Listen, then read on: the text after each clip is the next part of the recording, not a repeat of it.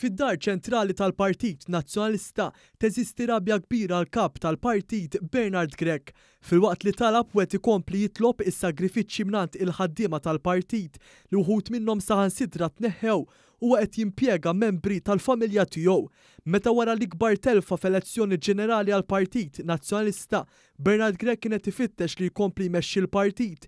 Kien tkellem dwar kemm hemm bżonn li jsiru sagrifiċċji għax is-sitwazzjoni finanzjarja tal-partit mhix tajba.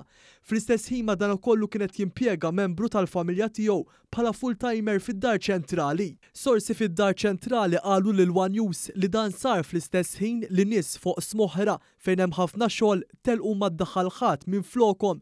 Grech impjega lin-neputi tiegħu Philip Grech biex jaħdem bħala graphic designer. Fil-fatt, in-neputi ta' Grech iddaħħal jaħdem full-time wara l-elezzjoni ġenerali.